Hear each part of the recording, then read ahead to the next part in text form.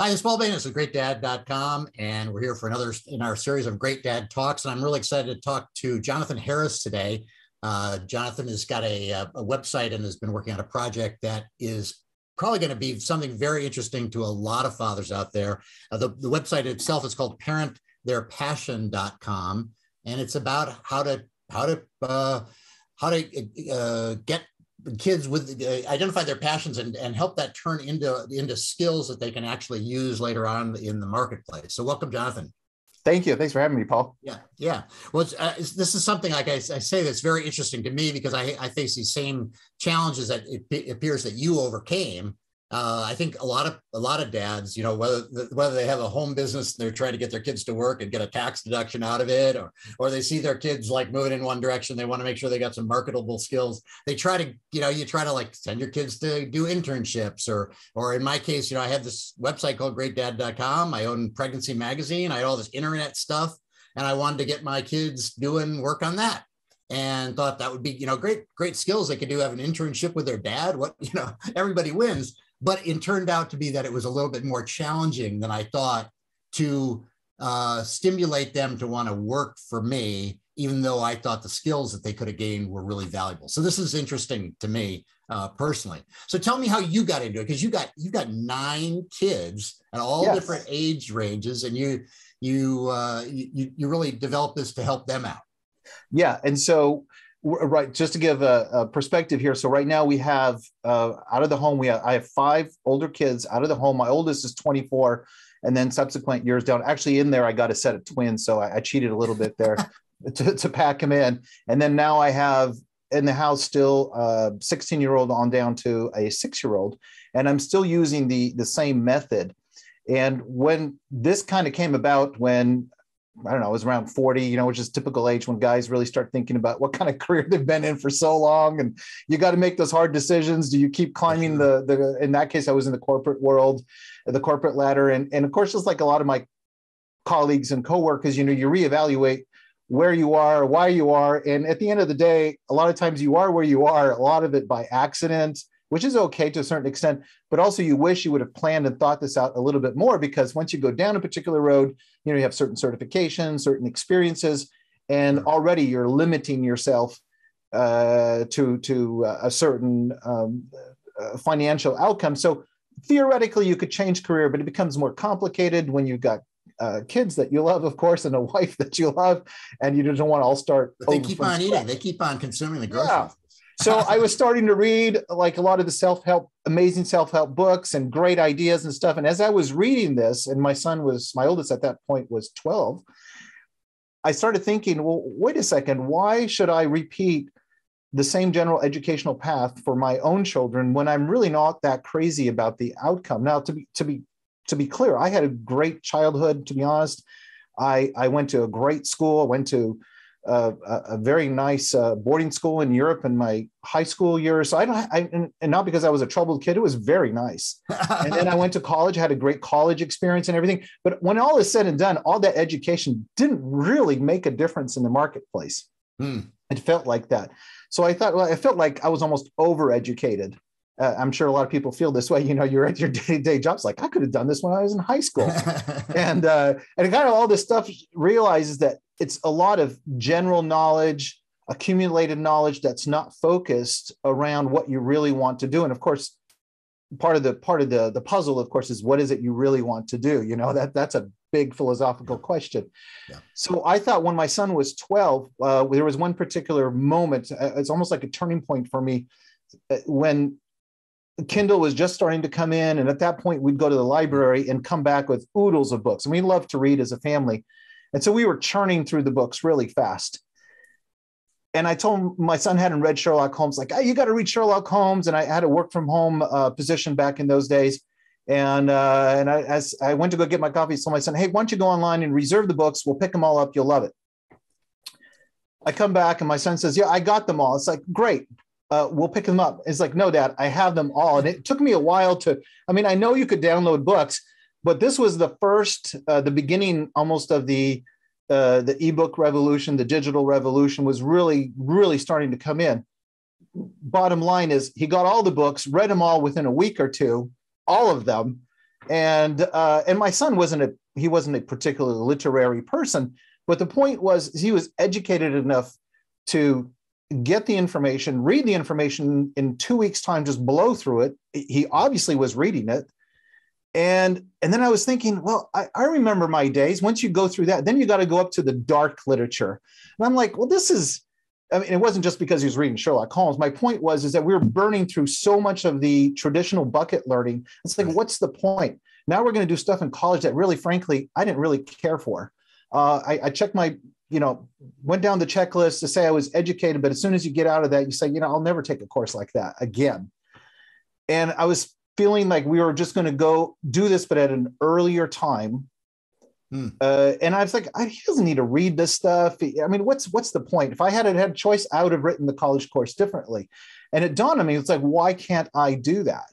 Hmm. So it was combined with the fact is that I wanted my children to be able to understand much sooner their sort of their bent and their advantages to create uh, something they were passionate about. So one of the one of the things we ran into was writing essays, and this is a very it's the traditional learning right. Whatever curriculum you have, it's going to go through various stages of you know write a persuasive essay write a narrative, write it, whatever it is. I, I, can't remember how many different methods we've had out there. And typically you're writing on a topic you really don't care about. Combined with the fact that the teacher has to read the same essay over and over, especially when they're young. There's nothing new. They're not advanced enough to bring anything new. Uh, no one's going to pay you to read it. So I thought, why not use the the time that that one spends to learn how to write to actually write about the field of interest that they have a natural interest in. So we started changing all the school requirements, and of course we homeschooled, so we had that that freedom to do that.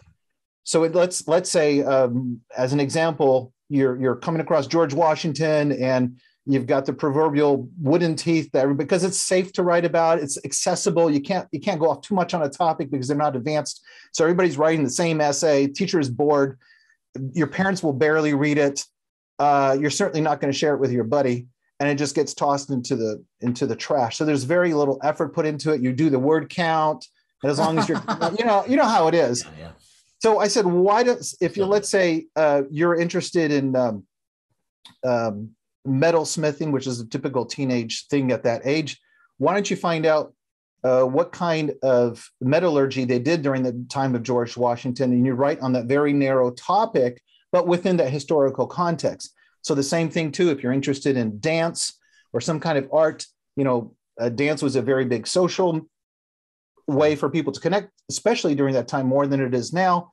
Uh, how did the upper classes use it? What were they? What were the tunes? So as you're writing, through your English curriculum, you're actually building your portfolio, a deep portfolio of knowledge about a specific area of human endeavor that you might have an interest in. Mm-hmm. And so that's just one example of what we did. So as your as your child is thinking and articulating his thoughts about it in the beginning, very incoherent, uh, very difficult, very uh, as they go, they they they become uh, jealous about the meaning of what they write. So they become more articulate. They're concerned that what they're saying makes sense. So a lot of times when they first start off, you as a parent, you might look at it and say, and we have them do it as a blog, so it's always visible publicly, though very few people read it, right? They're not famous. But there's a sense that other people might read it, which is very important. Hmm. So a lot of times when they first start off, uh, like our son, our 13 year old son right now is very much into 3D printers. He's going in deep, deep dive.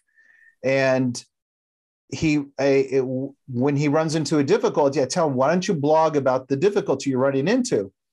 Well, the act of him writing about it, even if he doesn't have success, the act of wrestling with the problem at hand is what creates the the intelligence and the emotional attachment to what he's doing.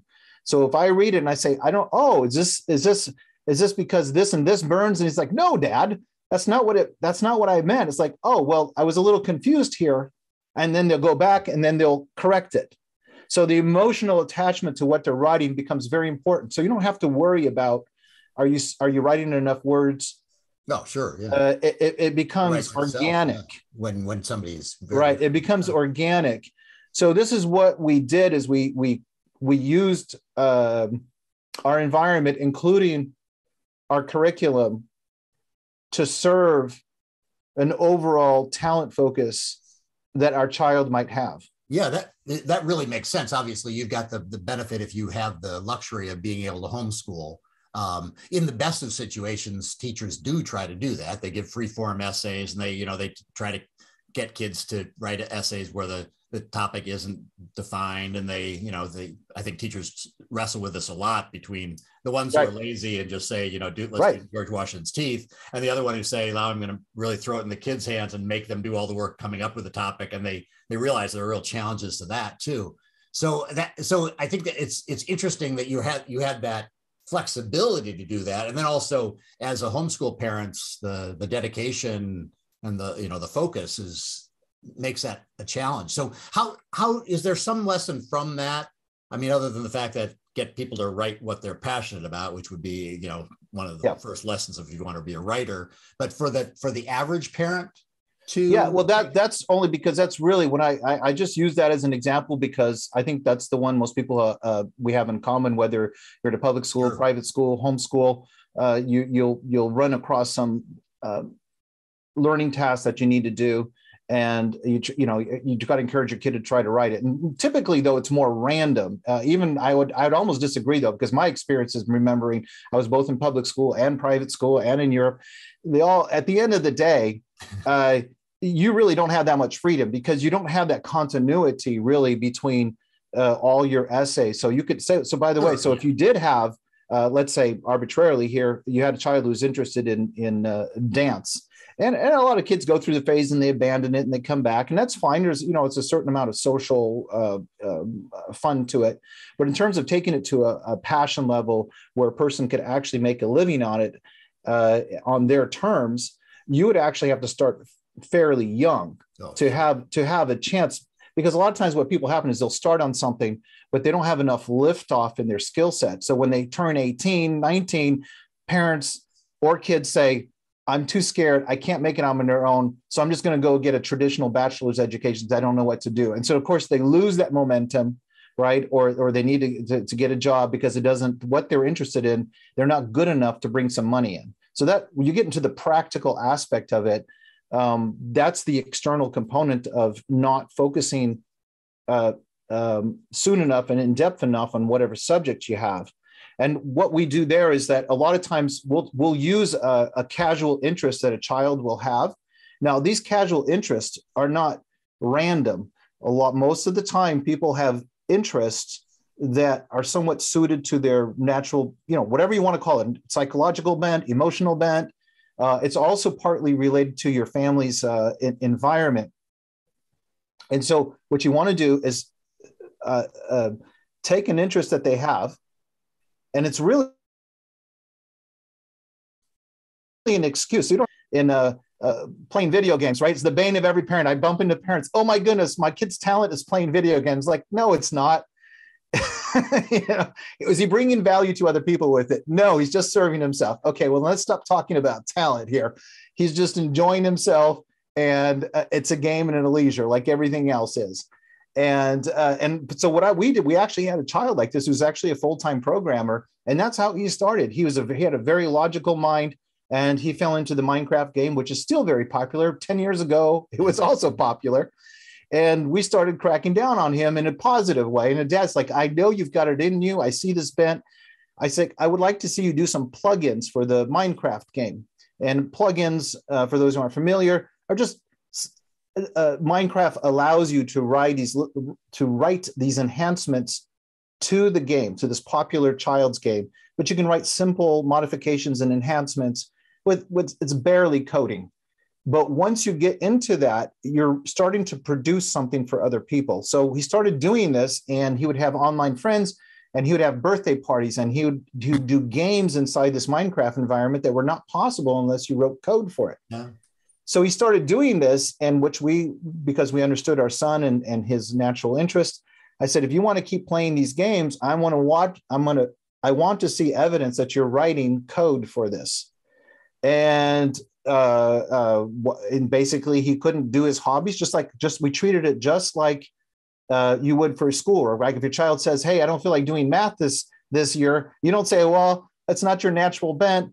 Uh, I, I, guess that's okay. But a lot of times we treat people's when you see a child, your child who has a natural bent in a particular uh, uh, talent, it's not a talent yet, but it's like, boy, if this was was was cultivated, it could really make a difference to them. Yeah. But a lot of times, it's like, okay, well, if you're not in the mood, don't do it. We don't give them that choice. I mean, we within reason, we say, you know what, you've told me you love this, but you're just not disciplined enough to pursue this. So I, what I want you to do is I want you to spend an hour to two hours today. And if you don't know the answer how to get started, that's the beginning of a blog post. I don't know. I, so he says, he might say, I don't know, 12 year old, I don't know how to code this. That's, you know what? Go online and find out. So and that's what he says. We have an interview with my son and he talks about this. Is a lot of times that's what you do. You just say, how do I start coding plugins right, yeah. for Minecraft? And you get two or three tutorials, you summarize it. Now you know it's this particular language. That's your one blog post. And then the second blog post, you say, I don't know how to get started. I need this piece of software, this piece of software, and you talk about how you download it. And eventually, from coding project to coding project, the, the gaming world was left far behind. He he uh, he he became a professional. He started getting cash, little token uh, uh, cash amounts for yeah. bigger projects. And I think one of his first big project was a a an owner of a server farm of Minecraft, and the the owner was getting frustrated that a lot of people who had been banned for bad behavior were coming in under different IPs and under different uh, um, IDs, and so they needed to write some code that would start uh, um, taking care of this issue. Now, he, my son, was certainly not advanced enough at that time to be in charge of it, but he was advanced enough in a particular area to join a team led by someone very experienced, where he started uh, learning how to uh, submit code for revision and approval. And that was his first official big job, which he got small amount of money for. But from there, he got a taste for what it is to bring value to other people. And, and he had to, as he went along, he discovered uh, what he really liked. Uh, because you know even the programming world is a big world and uh, right now he he writes a lot of code for a, a um, particular entrepreneur he's been doing this for he's 20 years old now and he just loves it but that's that's an example of what we did for one son he had an interest that as a parent I'm paying attention. I want to tell dads, you have instinct that no one else has because you know sometimes for one child uh, that would break them or it just terrifies them. Whereas another child, right. you know, if they could get a taste at it. So, but I guess my question will will come back to the the the homeschooling. Yeah. You have you have a lot of power in the fact that you're homeschooling right. versus a parent who's you know, who loses their kid for seven, eight hours a the day, comes home, they express a passion, like my my son loved right. Minecraft too. Uh, we tried things like uh, uh, Lego techniques to help him to, to, try to incentivize him to to code in Linux for. Uh, for that device. We hoped he would you know use some of his Minecraft skills, but we weren't I, we didn't press it that hard. I certainly didn't suggest writing a blog about any of these things to try to stimulate it. But how would you have, how would you recommend for somebody well, who's not homeschooling? Yeah, well, I would. Okay, what we did uh, my, for my firstborn, who's 24, what he'd almost be like the the best example because it was it, all the things fell into place, and not everything has to fall into place exactly, right? So you have this is one of the reasons why to start, son. You can make mistakes, right? I mean, it makes sense. Mm-hmm. So what our son was interested and he was interested in uh, digital photography. At the time this is more than 10 years ago uh, digital photography was really coming into its own. That's at the beginning of the social media. So everything was becoming affordable. I just remember back then uh, my wife and i have a have a um, a home business not related to parent their passion. And one of the things of course a lot of times you need to take product shots and we had a clunky digital camera. I mean, now, I mean, it's hard to even believe how much it's, yeah, it's yeah. grown and the lighting and everything. And so um, he, I, I, forget if he, I think he got a camera from an aunt, you know, hand me down. So he's taking pictures. And of course, he was just beginning to discover the, the video stuff. did the typical teen thing. He had his siblings pretend to be run over by a car, uh, exploding stuff. Totally fine. But my my dad had went on, and I said, "That's great that you're having fun with this, but I want to see if there's a way you can bring value. This is the key. How can you bring value to other people with your with your camera?" And of course, the immediate answer for a 13 to 12 year old is how about you help your mom with some product shots? Right. And one of the, and, and then you reverse engineer that. How could you help us with the product shots? And we pay him, by the way, uh, just a, a small amount. And and he said, well, our biggest issue is the lighting. It always looks, you know, there's there's too much light, it's too washed out, or there's too much. We got simple. So he so he said, so on his own, he said, I'm going to go to the camera shop and talk to the camera guy and see if I can get a couple of lights. While he was there, the guy found out what he was trying to do and he gave him a lesson right on the spot. Well, he came home with this thing immediately, made a difference for us. So he got from us the emotional attaboy. And it wasn't uh it wasn't just me telling him, hey, you've got a talent or an eye. He heard the relief and sigh out of his mom saying, finally, we've got some products that don't look, hor- you know, product shots that don't look horrible. And then from there, I said, you need to make more money. So I want to see you bring more value to other people. So we had a, another friend who, again, uh, um, so he's more technology oriented.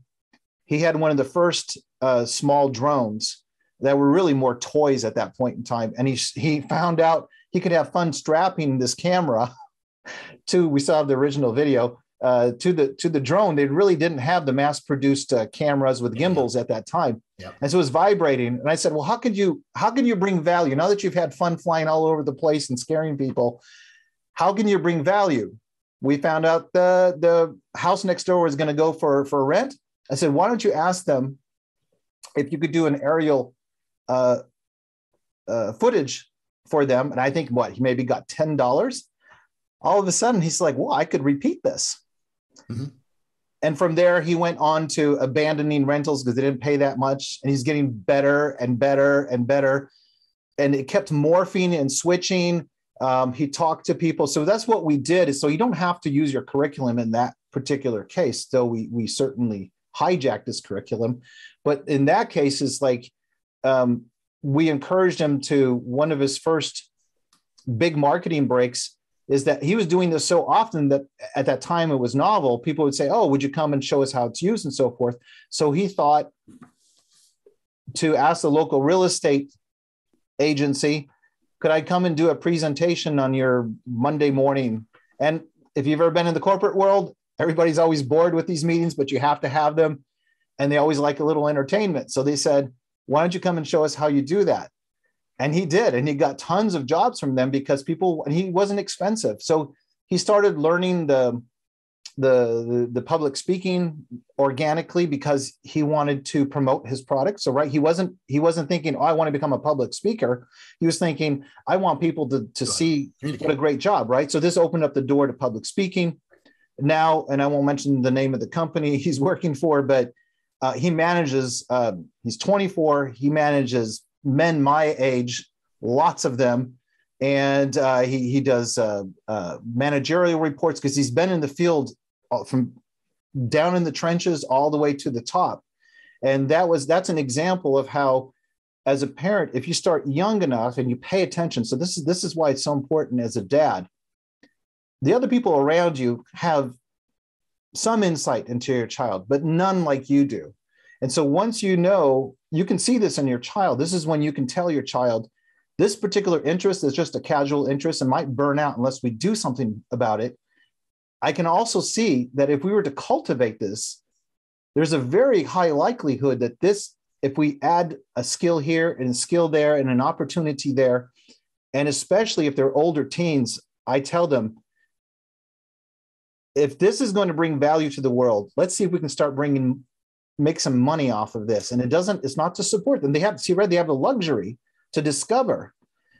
So if your child, you think, oh, my child's going to become a musician or whatever it is you want, especially in the arts, it's a little dicey because people have sometimes fantasy ideas because it's, you know, it's on TV and, and the show. So people magnify it. Well, I say, okay, well, maybe if that's the case and you seem to have a bent and an interest, can you make $10 this weekend off of your money? Your grandma doesn't count. Your mom and dad don't count, right? They love you. And teens know that. That's why they don't react to uh, I mean, they do. They they enjoy the the the the compliments of their parents, but they're always a little suspicious because you know you have yeah, to. They're not stupid. They know it's a. Little. When they get ten dollars, their first ten dollars or whatever it is from someone who doesn't owe it to them, oh my goodness, the light switch comes on. So I you you say something that's really important here that I that uh, you've used this phrase a bunch of times about bringing value to other people, and I and I and um, I, guess, I guess it for me it takes a little bit of a leap of faith to believe that's the secret sauce. I, I am thinking I'm I'm reacting to a lot of what you're saying and and trying yeah, to understand because yeah I, I, thought I was a pretty present father. I was always trying to identify their passions. I was always trying to support them and all these things. But maybe maybe part of what you're saying is that that is the secret sauce about how do you bring value and it's not how do you bring intrinsic value but it's and I don't know if this works for all children, but this idea of maybe it's monetary value and other types of value, but how can you do something that is externally focused, that is right. validating, that creates a loop of very well said. That not, external focus is yeah. critical. Yeah. It's critical because it's hard to evaluate. And I and I, you know, I think that this is what happens with a lot of teenagers, especially sometimes that they have feelings of you know they have they have they, they feel inadequate or um, feelings of self-worth is because they they they have even when people compliment them they're not sure right so and you see this and because and the they're participation doubting. trophies are you know everywhere so yeah and you you don't know are people they, they, are people you know people say oh this is a great painting and you're, you're looking at it and you think that this yeah, is really bad. I know this is and they're telling me this is great I mean I'm this is not good yeah yeah yeah. So you're you're not sure. So what you need is some kind of a, uh, objective, in a way, objective way for people to tell you you did a good job, uh, essentially. But you but you don't. What I want to bring here home here is that as a father, I don't know what it is that this is going to grow into. So let me give you a fictional example, which is not what we did, but this is an example uh, because I I I, artificially constructed a, a situation which I think perfectly illustrates this. Let, let's say you, you your family your family's uh, way to wind down and their identity is to go to football games. And I like to pe- pick the people, uh, pick on people in the South, which I'm not from. I don't get it. I hear about it. I have friends who are in it. The famous football Texas. is everything. I'm like, whatever. Okay.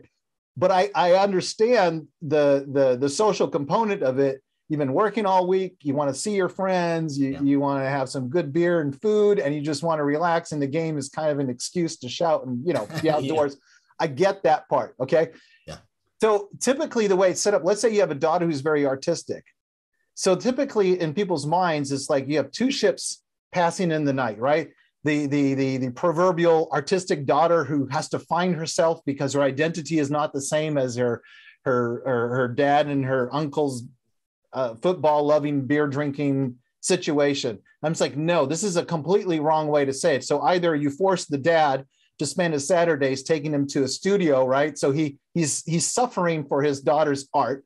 And typically, by the way, if you have lots of kids, you can only do this with one or two kids, and the other kids write the memoir later on about how yeah. their their sibling got to be the opera singer and they got you know they got yeah, squat. Yeah. You know, that's not what you want to do. You say, okay, my daughter's artistic and and um, one of the issues we ran into early on is she got into the realistic art, which and and she was doing great, but nobody wanted realistic realistic art because digital photography is so good, and even the ones who did want it uh, just can't afford it.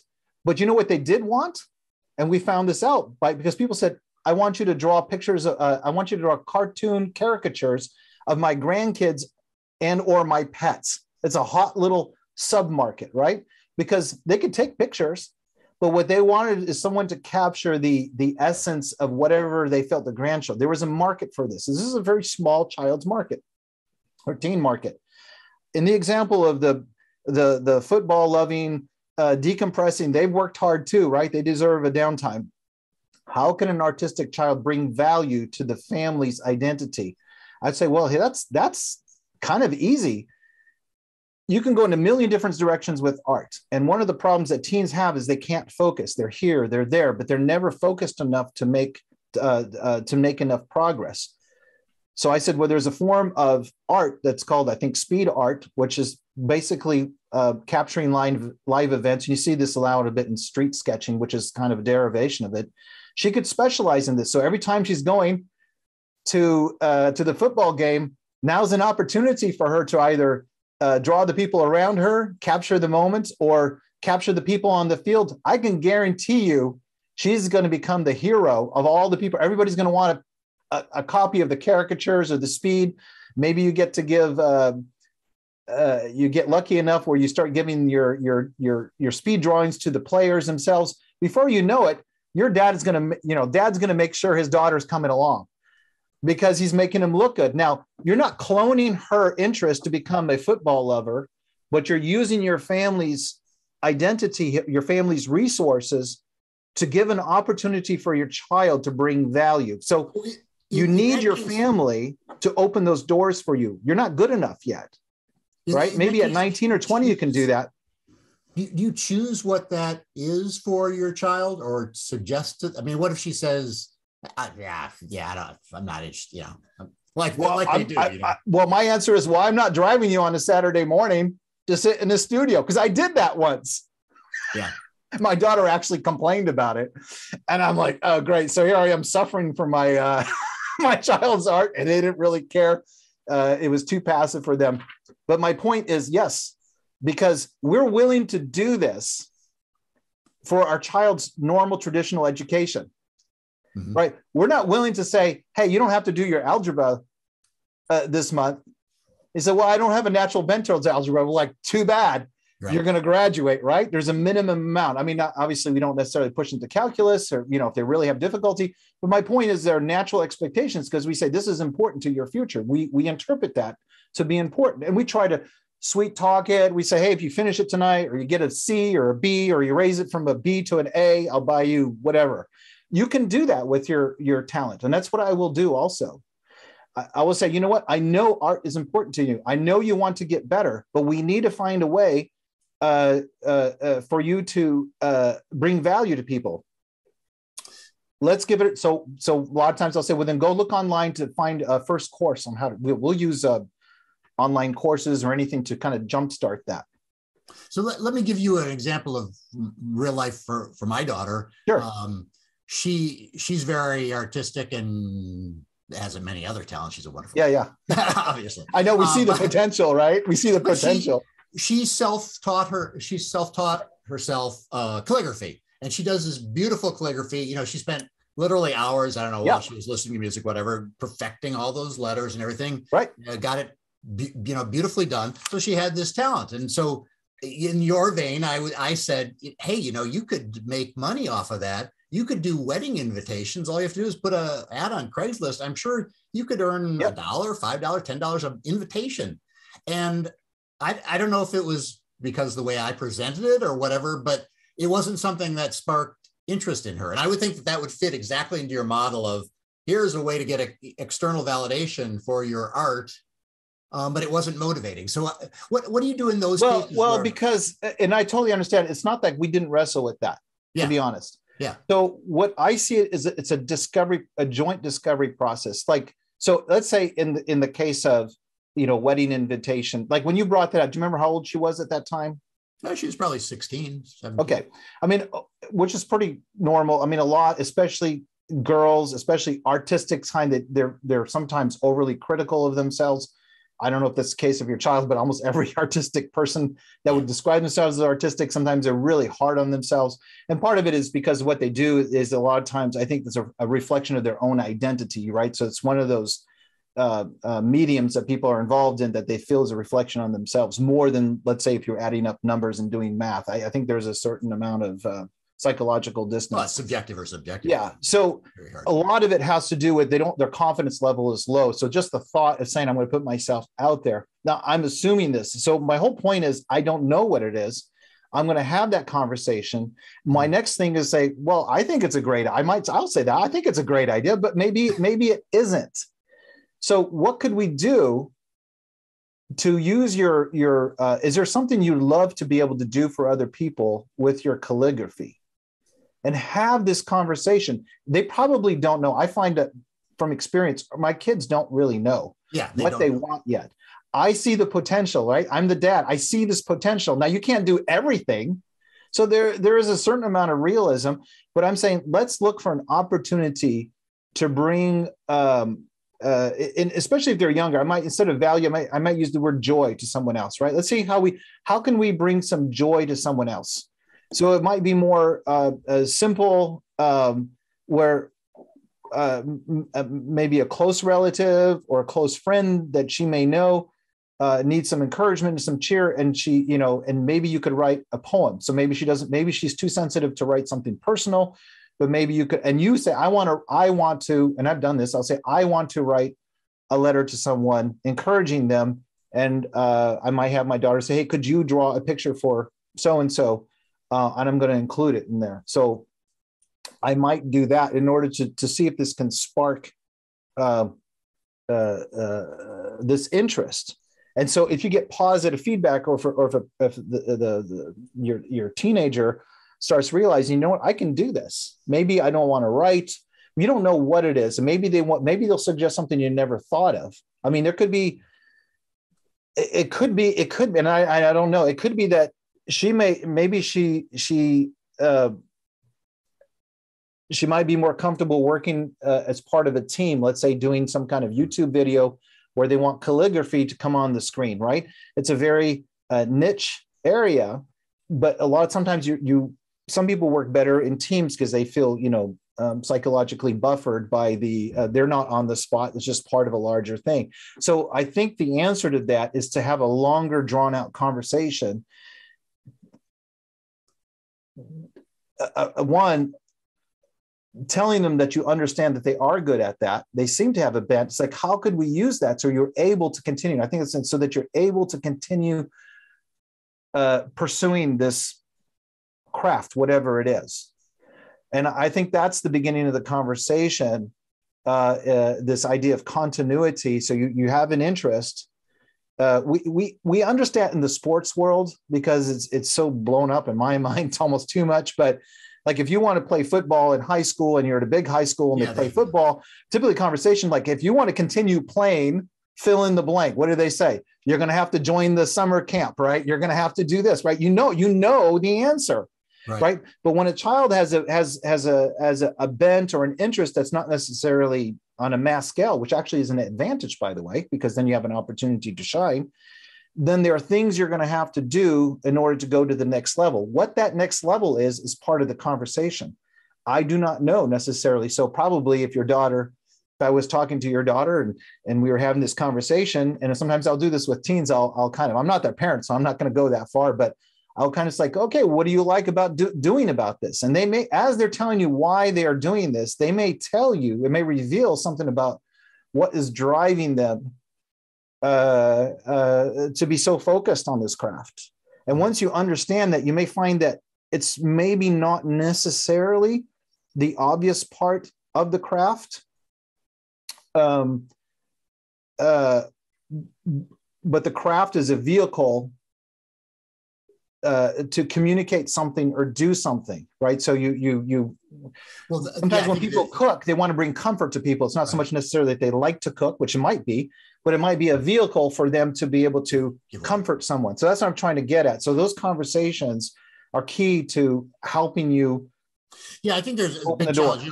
I, I I work as a coach, and uh, so uh, a lot of those conversations are a lot more baked into coaching. But uh, uh as we all know, uh, coaching your kids is not uh, the same as parenting no. your kids. And, not, not, not, that easy to do. So I, I, I take your point that I think like a lot of stuff in parenting, there's a lot more. Um, a lot more work that you need to do. It's not like, uh, why don't you do this with your calligraphy? No. And then they say, yes, you that's a great idea, it. Dad. No. I'm running with it and I'll, I'll go. It may be, it may be a conversation that takes a lot longer to germinate than that. Uh, well, in fact, I think that's one of the things, uh, and I hope I hope your listeners will get a chance to go to my website, Parent Their Passion, put their email in, and they'll right away have access to a worksheet.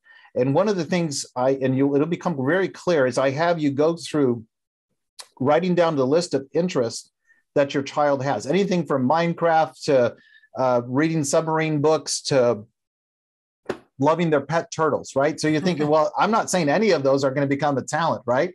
So I just way it's like, you know what? Guess what? The reality is that none of these interests are actually a talent. In fact, they'll probably die and come to nothing. And that's okay in itself. Uh, interest by itself at that age is not powerful enough to, to sustain a, a focused interest. So what you have to do is, you know, to use a popular term in the adult world, you have to stack on top of that a tool or resource that belongs to your family. And then stack on top of that a family activity. So your child is uh, just in the example of the daughter doing speed art at a football game, her art by herself, she can barely get the neighbor uh, uh, to watch her drawing. Right? She she's gonna you know typical teenage girl to go to go to DeviantArt, and there's a million photos of girls crying because their emotions that are high high tide.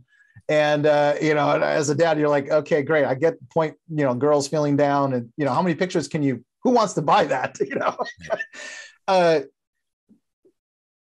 te- you know technical art is there but it's not serving anybody. And this is where the difficulty is. So if you can find a way to serve people then your your your your um your young your young person has to wrestle with what does it mean to bring value. So let's say she, the first day she goes out there at the football game she's totally not interested in football that's besides the point now she can sketch the guy eating the you know, uh, spilling the beer on himself and, and the hot dog. And, and she does it.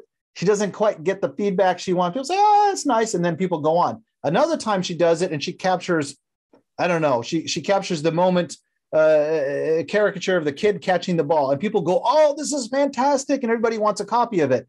So she goes, aha, what people want is they want to capture this particular moment, right? Or it may be something completely different.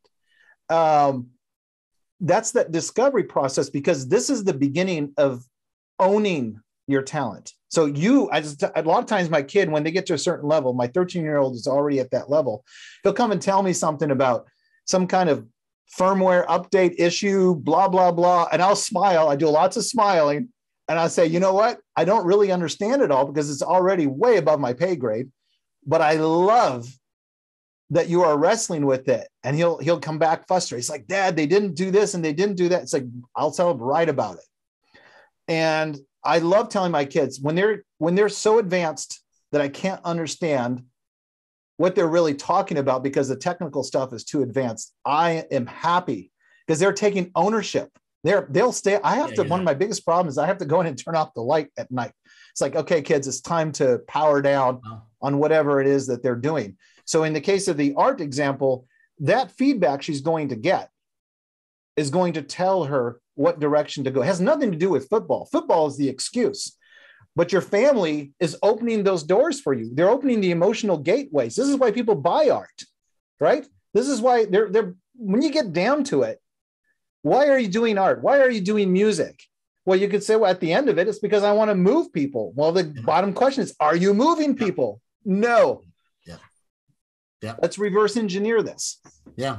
Well, you can't argue with the fact that you've got you've got a sample set of nine. you're, you're, you've, been, you've been very successful with this. I, I I think it's a it's I think this idea of value and trying to externally validate is really is very strong. I need to uh, need to try to practice. Well, you know what? We need it as dads too, though. Yeah.